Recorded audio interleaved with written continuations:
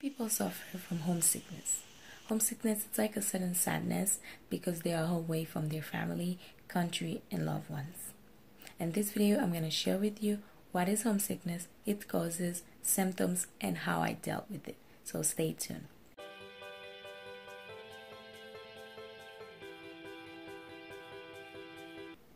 My name is Rosanelle, and on this channel, I share with you my experience so a new generation can benefit from it and do better. Homesickness is the fact that you're missing your home, your family, people that you love, that you left behind at home. How would you know if you have a homesickness? The causes can be people going away for college, leaving your mom, your dad, your brothers and sisters to go away for college in the United States, um, where I am, a lot of people are international students and they left their family behind. They come in this country to study for a few years. For some people, they left their home to go to work in a new country, or some people just migrate to another country to find a better life. Some people, um, they live in this country, but they go in another state or another city to um, go to college, to go to work. And at this moment, you may or may not, some people may not experience it, but you may, most people experience homesickness. Um, there's the author of this lady called Mrs. Burgess who said, There's no shame in being homesick. It just means that you come from a happy home. So you won't you would not miss your home if you weren't happy there. So if you're missing your family, which means that your family make you happy. If you're missing your country, it means that there are things in your country that make you happy. So now, what are the symptoms of homesickness? When you have homesickness, you would have lack of energy and motivation to do the things that you normally would do. Some people experience it they can't get out of bed. Like me, I would get out of bed, but I would feel a lot less active than what I usually am because uh, it is hard to move on with life when you know that you cannot see the people that you love. So when I first came to the United States, I had this disease or this symptom, whatever they call it, this sickness, and I had this lack of energy at first. I couldn't do anything. I didn't want to get out of bed because I was scared of this new environment. I didn't know what to do. What am I going to do? Where am I going to go? How am I going to take a bus? Because it's not the same reality back home. We don't have this type, we don't have this system at home. And then the second thing you can experience is a lust of appetite. Some people don't eat or don't feel like eating. Me, I had this symptom too. I couldn't eat or I couldn't cook because um, I come from a big family. We are a lot of people in my family. So when um, we have food, there's a lot of people to eat it. But when I moved here, it was just me. I wasn't married yet, so I would cook for me and my boyfriend, and then we would share that food, just the two of us. So it was harder to eat, and then sometimes when I'm eating, I'm thinking about my family are they eating now? What are they doing? And then at night, I couldn't sleep because I missed them. I was thinking about my friends, all the jokes that we could have, what we would do in this moment. And this would make me feel really, really sad. And another thing is isolation you tend to isolate yourself when you are homesick. You don't want to go out. You don't want to um, go into this new world because you're afraid of it. So you isolate yourself. You stay in your room. You stay um, wherever you're staying. You just don't talk to people. And the last thing that can go from this is depression. So if you're experiencing all this, you don't get ahead of it you'll have depression. So I don't want you to suffer from depression. So I'm to tell you what I did. First thing I did is plan a visit. I planned a visit. I visit my family after a year uh, um, out. I went and visit my family. I spent two weeks with my family. I enjoyed the time with them, my family, my friends. I made sure I saw my friends not all of them, but some of them. I made sure I saw them, I spent time with them, and then I came back. Because at this point, I missed them so much that two weeks with them was not enough, but what I needed.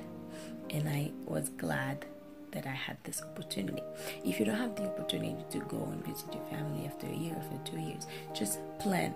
Plan, like, let's say I'll be able to see my family in five years.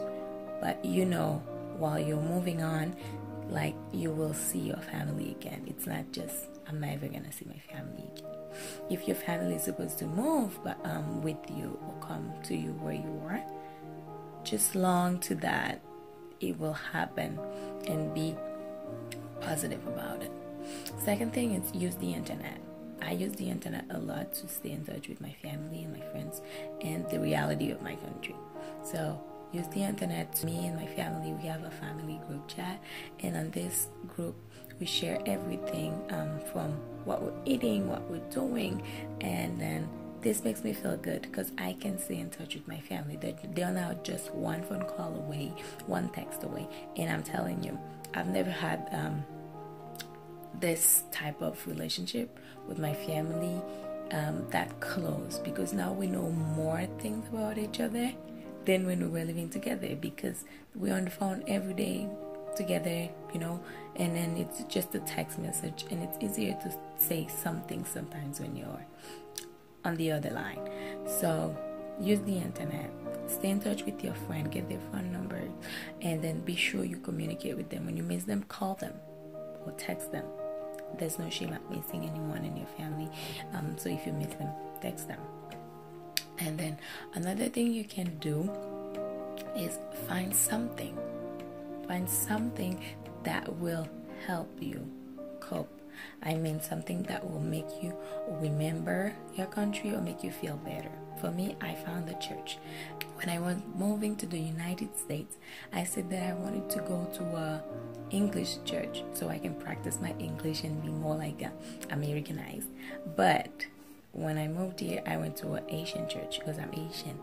And I am really happy about it because now I know every Saturday I go to church. There's this community that reminds me of home. Everybody speak Creole.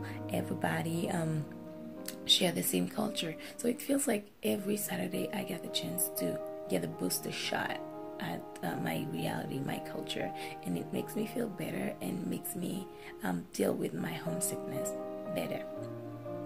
The other thing is accepting your new reality and remember why you're here.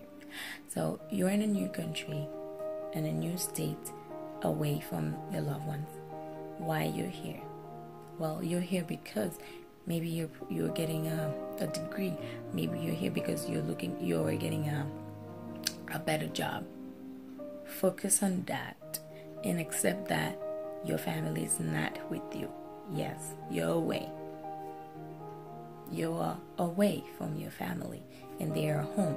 So be sure to accept this reality and make it your reality. Once you accept that you don't have your mom with you, if you're a college student, once you accept you don't have your mom here with you, your daddy with you, your older sister, your younger sister, your brother, etc., you will do better because you know that you only can depend on yourself while you're away from your family. And if you are um, a married person, an adult who left um, kids behind, husband's wife, be sure to remember that you are away not because you don't love them, but because you do, because what you're doing is for them. For you first, but for them too, and you want them to have a better life. So focus on that. Eat, sleep, take care of yourself so you can become what you want to become. So you can uh, get the result of your hard work. So it will be a shame to experience homesickness, to be away from your home, and then you don't do anything with that, you know, and you're in a new country. You just waste this time that you could spend with your family in another country and you're not doing anything. You're just sitting down, no motivation. So be motivated, people. Be happy, okay? Be happy, eat, sleep, Take care of yourself. Make new friends that will help you when you're feeling stressed. When you can call them, they can talk to you. And if you're missing people at home, I'm saying it again, call them, text them, tell them you miss them. Share your, share moments with them on the phone. Use everything that can help you stay in touch with your family.